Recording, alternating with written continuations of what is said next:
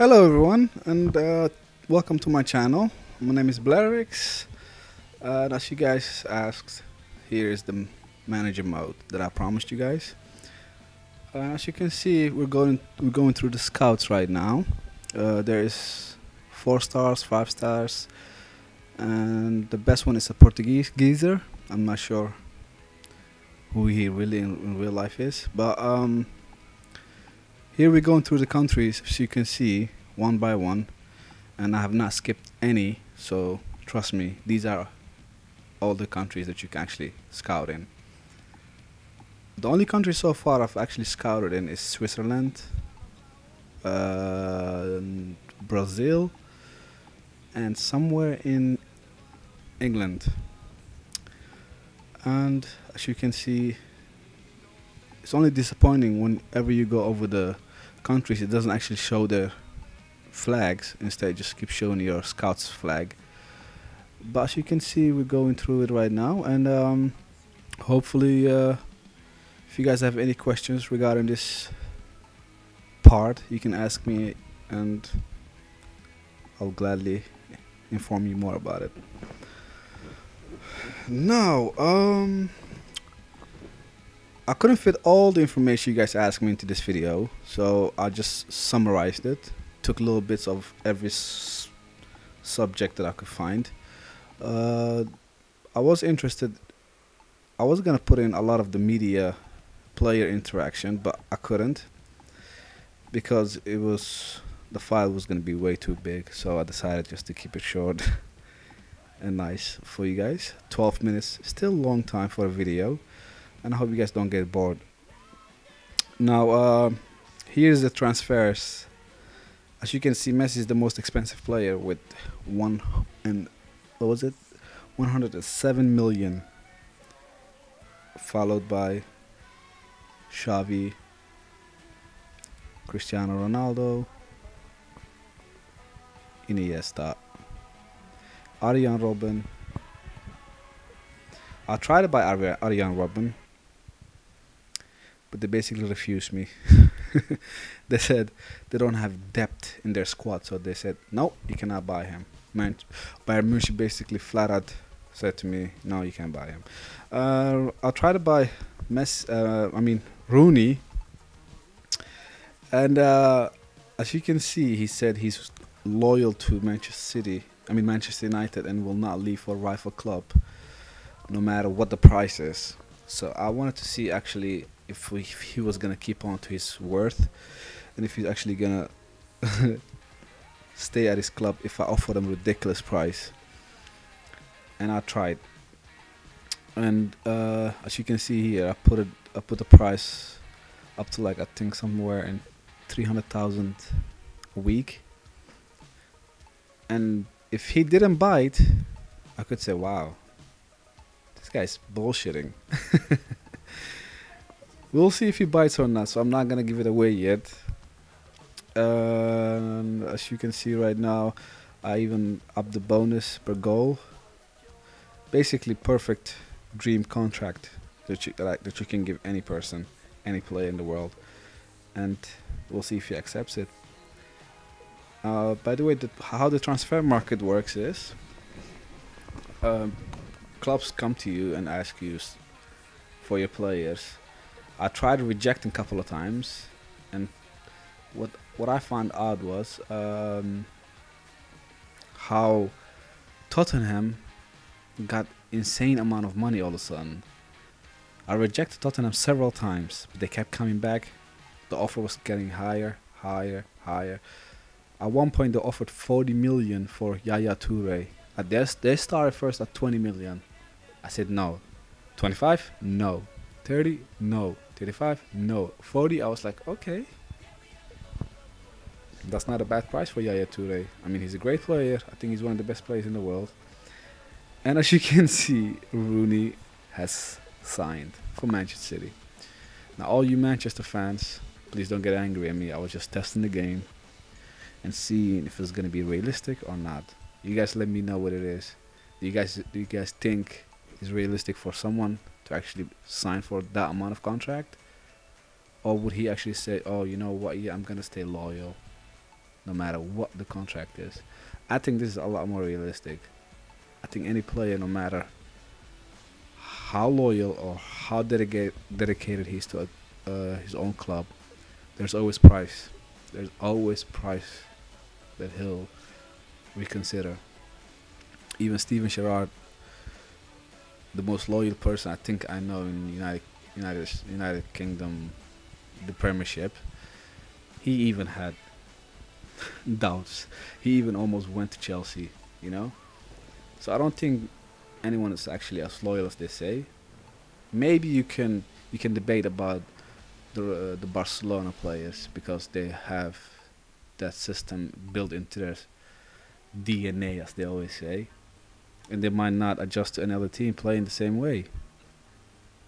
Now, I mean, if they went to another team, they might not adjust playing the same way. Uh, don't get me wrong, I'm not saying uh, they're bad players if they don't get it on. Now, as you can see, on the right is the latest deals. Top deals are on the top. Rooney is the highest transfer bid of the summer. And it also shows if you uh, use the right, the left B and the right B, you can go through uh, the transfer market, the breaking news, and the club news. And here we're gonna go into the actual scoutings. I'll scout a few players, and as you can see, the potential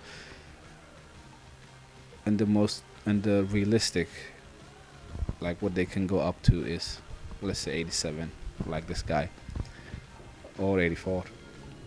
Depends, but that's only after one month of scouting.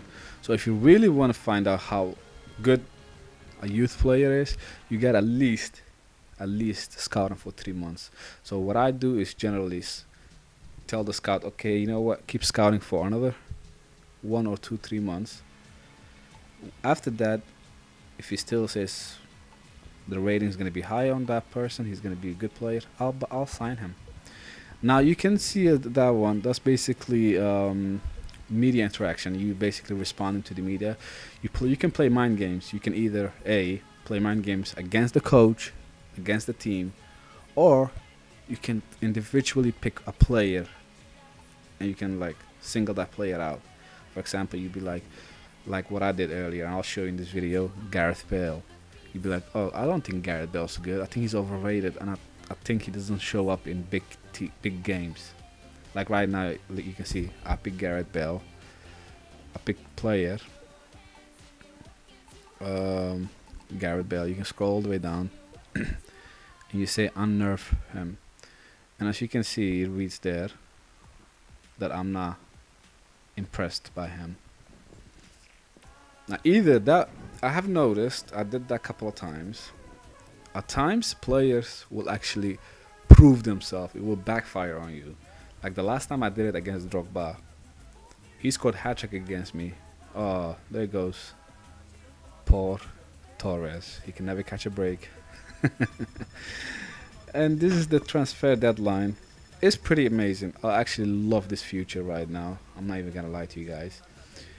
I try to fast forward. I try to take as much information from it.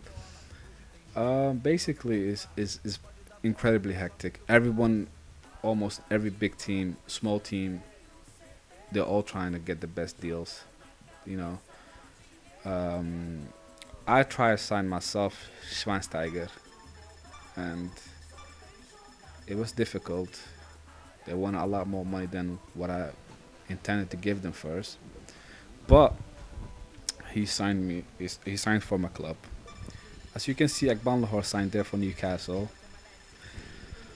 Now, uh, you can wa- you can keep watching the screen while I talk about the top scorers of the of the game, how it works. I found a bit strange that Rooney, uh, uh, Kun Aguero, Dzeko, or uh, any other players like Hernandez wouldn't be like, you know, the top top scorers. Instead, it was David Silva who ended at the end of the season with with the most goals, followed by Agbonlahor and Davis, which was what Davis. I know he's a good player. Don't get me wrong. I actually like him, Davis. He's a good player. But as a top scorer, second top scorer of the season, I think that was a bit off, and I hope we get an update for that because that seemed a bit unrealistic. As you can see, there were also Johnson and uh, Adebayor was all the way at the bottom, nearly at the bottom. Well, I, I thought that's crazy. And here's the player where they can either A, get unhappy, B, they can say, Coach, play me and I'll prove it to you that I'm good. You can take the chance on him and play that person, play that player. You might get lucky and he might be amazing in that game, or he might be just terrible. Now, last time I played Dzeko, he said, "Play me, coach, and I will show you my worth." Something like that. I played him. He scored a hat trick. I was like, "Whoa!" then I benched uh, Rooney for a couple of games. He kept scoring, kept scoring. After a while, he had a dry spell again. So I took Dzeko off, and he got unhappy again. So uh, I find it a bit strange that he gets quickly unhappy, even though he he is a substitute. He does come into the games. He does actually play. And here is actually scouts that are trying to sign. I signed a scout right there. I'm not gonna lie to you, David, David Silva is pretty amazing. There, there's Dzeko again. He's absolutely not happy. Do you pronounce his name Checo or Zeko? Anyways, I hope you guys enjoyed that video, and uh, I'll try to get more videos up for you guys. Uh, and if my commentary sucked this time, I'm sorry. I did it live as the video was going on, so I couldn't edit it out. And if you guys wonder where my accent's from, I'm Dutch, and uh, I do live in the United Kingdom. I love this place. I love the culture. I love the people, and uh, I hope to upload more videos. And that's about it. Thank you guys, and have a good day, and enjoy it. I think the celebrations are pretty amazing. Look at all that. Look at all that juice. Oh, yeah. Thanks for watching, guys, and have a good night. Bye.